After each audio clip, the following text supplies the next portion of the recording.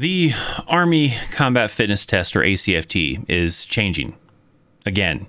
Now, this is not an old video, right? We thought we were good. We had the final version of the Army Combat Fitness Test, and the Army said, here it is. After all these changes, Congress wanted us to change stuff. We've got the new one this is it. This will be in effect as it was as of October of 2022, and that'll be the new standard from here on out as of 2022. Well, now here we are approaching 2023, and they're apparently going to change it again.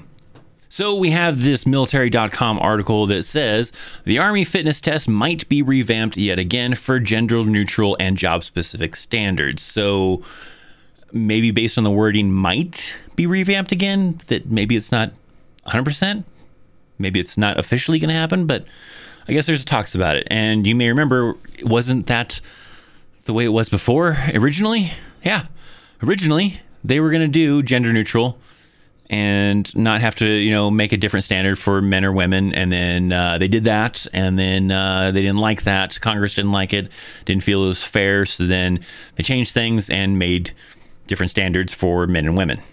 Whether that was the good move, bad move, I don't know, right? I, I like the idea that uh, that it doesn't matter if you're male or female, you're in the military, you're in the army, you have a set standard, and this is the standard that you must achieve to be considered a fit soldier, to be in good enough shape for combat environment. Because I do like the example that they were even kind of giving where bullets don't care, enemy doesn't care if you're male or female. You need to be in good enough shape to be able to do your job and do what you got to do is that necessarily fair? I, I, don't know, right? I'm not a, a pro or a specialist or an expert on physiology between the male and female body as to know if, you know, these standards are too high for women or too low for men or too high for men or whatever, right?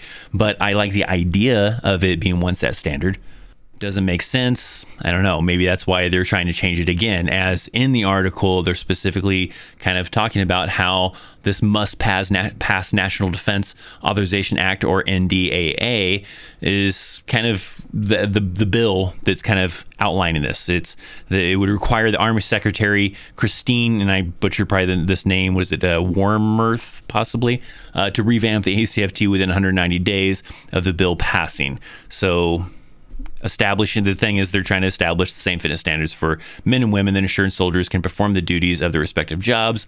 And that's what it was before and congress was not happy with that. So then they made them change it. So i don't know. Uh, it just seems kind of annoying that we thought we had the the final version and then uh, now now here you are again. Uh, back to the drawing board now, here it's even talking about how the requirement would largely take the ACFT back to the Army planners were hoping for through widespread skepticism from Capitol Hill and Wormuth, uh, effectively forcing the service to have gender specific standards shortly after a militaryreport.com on early test data showed that half the women could not pass the planned test. Now, with it saying that this individual was responsible, it's kind of confusing, but it sounds like this individual that Christine Wormuth was responsible for them changing it, but she's also the person up here that it talks about is responsible for wanting them to revamp the ACFT.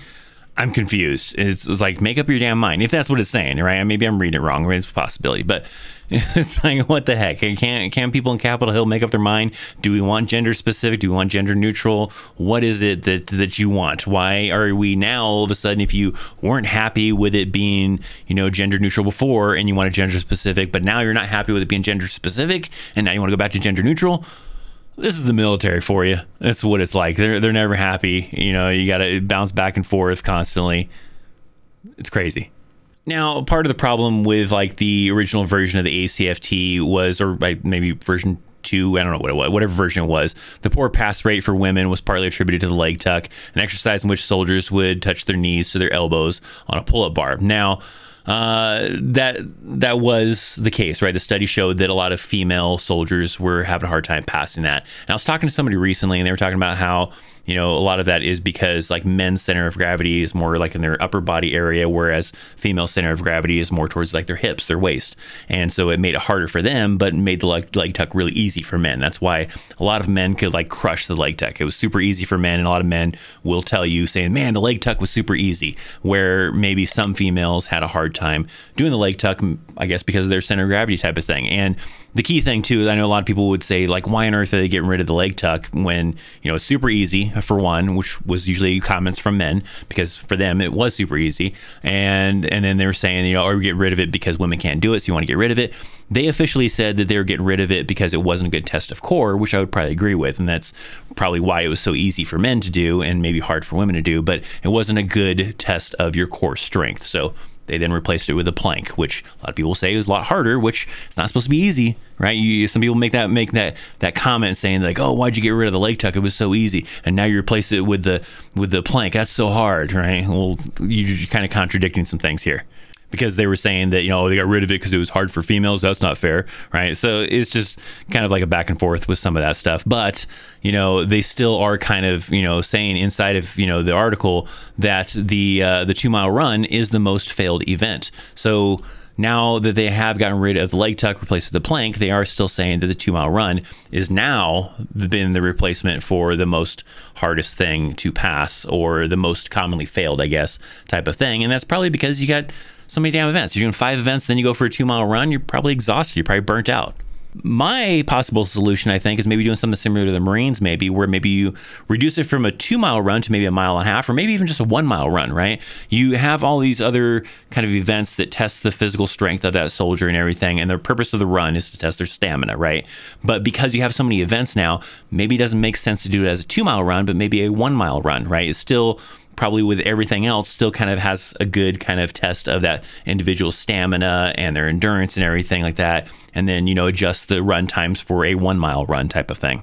So you know if they do go with this revamp thing then they're going to go back to the original of it. Doesn't matter if you're male or female same kind of standards, but is where they are talking about, uh, you know, making it to where it's different standards is based on your job. So here's talking about the service is also aiming for job specific scoring. The idea being an infantryman needs to be held to a higher standard of physical fitness than a soldier who works in an admin job. But also part of the article is talking about the challenge with that is do we make it based on your MOS or do we make it based on your job position? Because that can definitely vary on the requirements. If you have an 11 Bravo, an infantryman that maybe is doing Army recruiting, right? And they're working in recruiting, which is kind of like an admin type of position. Do they still get held to that same standards as an infantryman in an infantry unit doing an infantry job?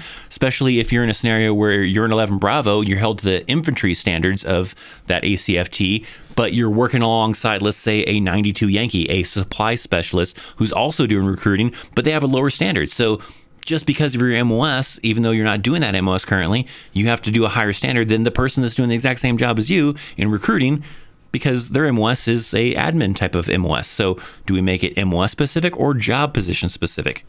I think you probably do job specific type of thing because it's probably not fair to go and hold someone at a high standard like infantry type of thing when they're not doing an infantry job because maybe they got assigned to be recruiting. Maybe there are the units, uh, you know, uh, retention NCO type of thing, right? So their really job isn't to go and start doing all this weapons tactics and everything else like that. They're trying to, you know, try to get soldiers to re-enlist in the army, and maybe it's not fair for that individual to still have to do the same standards. So probably job specific would be a little bit better not MOS specific. And even the same way, too, if you had like an 88 Mike, an infantry unit, or some other individual that's doing a job that requires more physical activity than what their MOS normally calls for, then yeah, maybe you hold them to a higher standard because they have to perform that job in a combat zone. So they're kind of outlining some things, trying to figure it out, I guess. Uh, maybe in 2023 we're going to have a whole nother version of the army combat fitness test. I'll have the full article down in the description box down below if you'd like to check it out but i want to hear from you guys right? Do you think this makes sense? Is it a good idea to go back to the original plan of being gender neutral? Doesn't matter for male or female same standards but do you think they should go with mos specific or should they go with like job position type of specific and why so we'll we'll see. We'll see how this kind of turns out and what kind of comes about of this. Was this what are we on? Like the fourth, fifth change? I don't know what it is. I've lost track now. Of changes of the Army Combat Fitness Test. This thing has been developed for a long time. was it in 2019 they first introduced it, and it's just been a rough kind of road all the way all the way through. So maybe in 2023 we'll finally get the final version, which we thought when we were getting the final version in 2022, but apparently not. So we'll see how things kind of play out. If you want to continue your viewing experience here on the Christopher Chaos channel, you can check out this video right here. Go watch it, check it out. Links in the bio or in the description box down below for social media, for affiliate links. Thanks for hanging out. I'm Christopher Chaos. See you next time. See ya.